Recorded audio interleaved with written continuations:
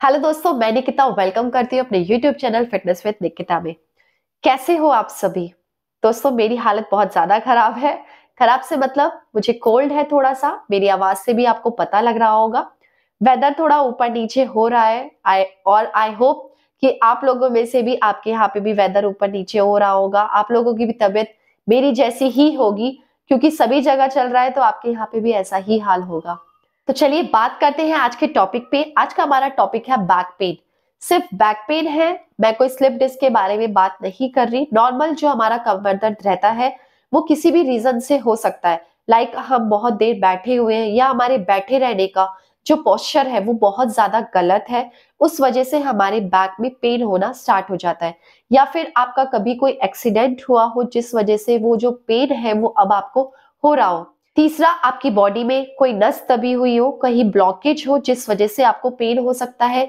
Last आपको, आपकी body में जो लैक ऑफ़ न्यूट्रिशन यानी कि आपको खाने से आपको प्रॉपर न्यूट्रिशन नहीं मिल रहे, आपकी बॉडी में प्रॉपर न्यूट्रिशन नहीं है, उस वजह से हो सकता हो आपकी बैक में पेन हो रहा हो। और काफ़ी सारे ऐसे रीजन हो सकते हैं जो आपके बैक पेन का कारण बन सकते हैं।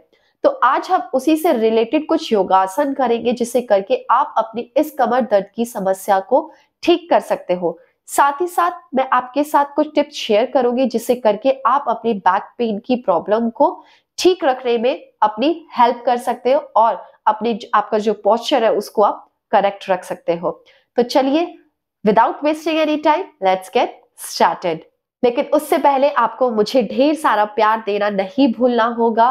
उसके लिए आपको क्या करना है, जल्दी से चैनल को सब्सक्राइब कर दीजिए, पास में दिख रही बेल आइकन को प्रेस कर दीजिए, ताकि आपको आने वाली नई वीडियोस की नोटिफिकेशन मिलती रहे और मैं आप तक पहुँचती रहूँ और आप सभी का प्यार भी मुझ तक पहुँचता रहे। तो चलिए, बढ़ते हैं अपने आसन की तरफ़।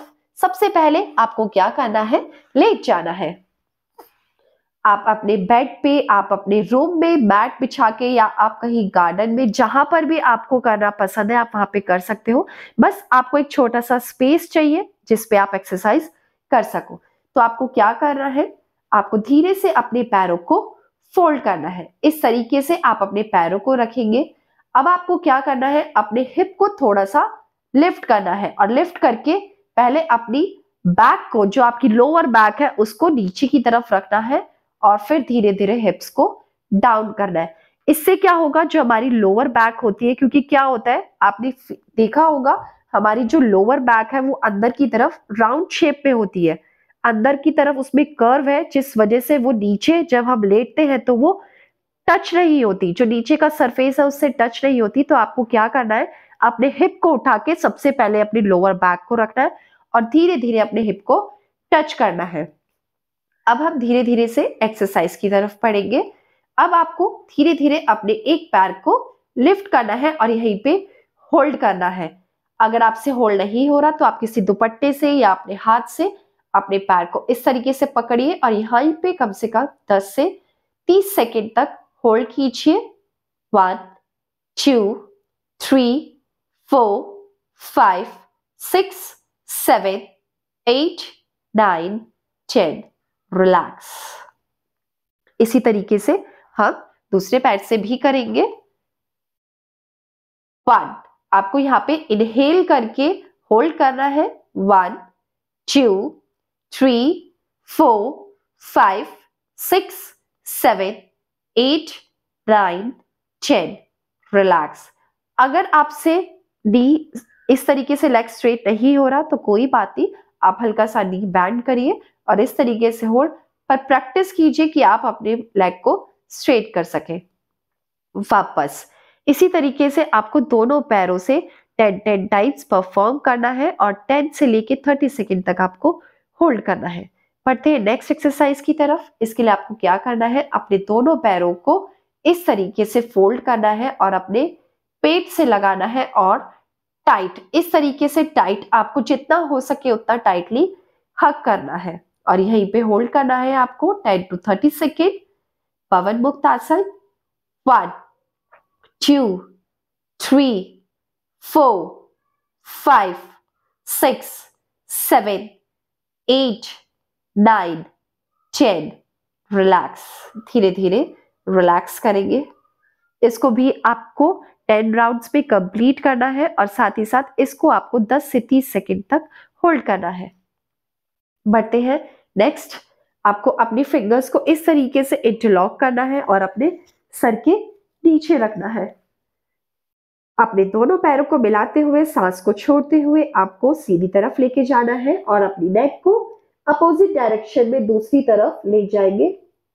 अब यहीं पे आपको 10 सेकंड तक होल्ड करना है। One two three four five six seven eight nine ten सांस भरते हुए वापस, सांस खाली करते हुए दूसरी तरफ़, यहाँ पे भी दस सेकेंड होल्ड करेंगे। आप जिस भी पोजीशन में जितना होल्ड करोगे, जिस भी बीमारी के लिए, जिस भी डिज़ीज़ को लेके आप अपने पोस्चर में होल्ड करोगे उतना जल्दी आपको रिलीफ मिलेगा। तो जितना हो सके उतना होल्ड करने की प्रैक्टिस कीजिए। थ्री टू वन रिलैक्स वापस, इसको भी आपको टेन टाइम राइट से टेन टाइम लेफ़्ट से करना है और इसको भी आपको टेन सेकेंड से लेकर थर्टी सेकेंड तक होल्ड करना है। बढ़ते हैं नेक्स्ट आसन की तरफ़। आपने एक पैर को सीधा कर लेंगे और अपने जो पैर आपका खड़ा है, उसको आप इस तरीके से अपने थाई पे रखेंगे। अपने इस वाले हाथ को, जो पैर जो पैर आपका लेटा हुआ है, उस वाले हाथ को इस घुट्टे पे रखेंगे और सांस को छोड़ते हुए धीरे धीरे नीचे ले जाएँगे गर्दन आपके अपोजिट साइड और यहीं पे आप होल्ड करेंगे।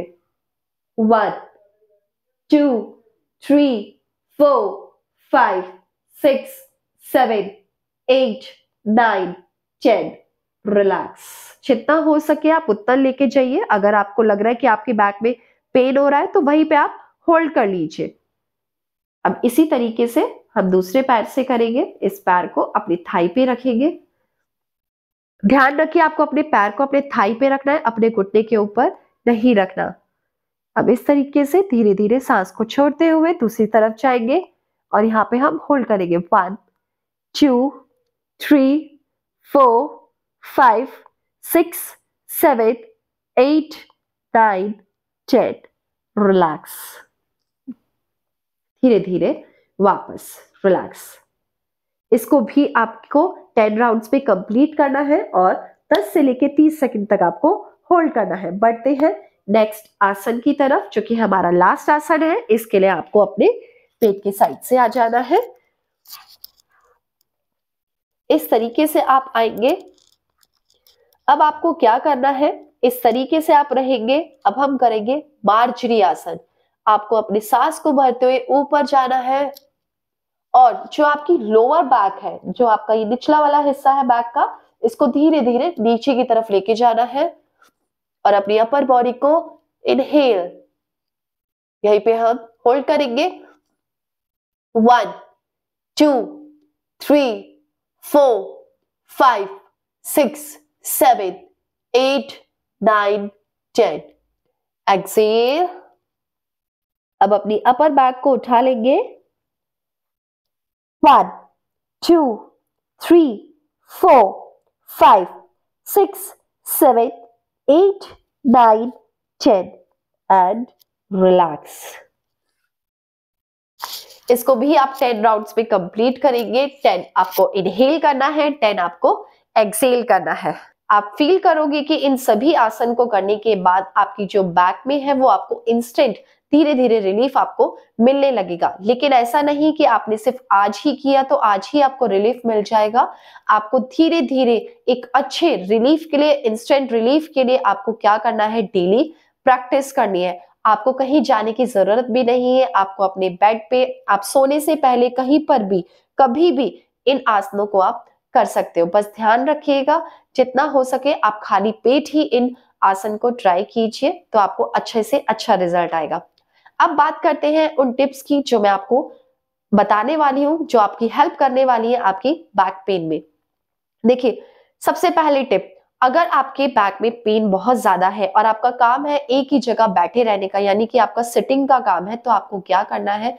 आपको 30 से 40 मिनट के बाद थोड़ी सी वॉक करनी है, अपनी जगह से उठिए वॉक कीजिए, पानी पी लीजिए थोड़ी बहुत स्ट्रेचिंग कर लीजिए या आप थोड़ी सी रनिंग कर लीजिए, कहीं पर भी घूम फिर के आ जाइए 10 से 15 सेकंड के लिए और फिर वापस से आके आप बैठ जाइए। अपने रूटीन में धीरे धीरे इसे फॉलो कीजिए। आप फील करोगे कि इससे जो आपका पॉस्चर है, वो भी सही रहेगा और आपका जो, आपके मतलब काफ़ी सारे हेल्थ प्रॉब्लम्स में ये आपको ठीक रखने में आपकी हेल्प करेगा। सेकेंड आपको क्या करना है? आपको अपनी डाइट का प्रॉपर ध्यान देना है, यानी कि आपको अपनी बैलेंस डाइट पर चलना है। अगर आप अपनी बैलेंस डाइट पर चलोगे तो आपको प्रॉपर न्यूट्रिशन मिलेंगे और वो आपकी बैक प्रॉब्लम से भी आपको दूर रखेगा। तो ये दो टिप्स थी जो मैं आपके साथ शेयर करना चाहती हूँ, जिसे आप अपनी डेली लाइफस्टाइल में इंक्लूड कर सकते हो। साथ ही साथ, ये जो योगासन मैंने आपके साथ शेयर करे हैं, ये आपको रेगुलर बेसिस पे ज़रूर करने हैं। तो आज की वीडियो मेरी यही तक थी। आपको वीडियो कैसी लगी? अगर आपको वीडियो अच्छी लगी तो प्लीज़ वीडियो को लाइक करिए शेयर कीजिए। मिलती हूँ नए वीडियो मेरे टॉपिक के साथ। तब तक stay fit stay healthy bye bye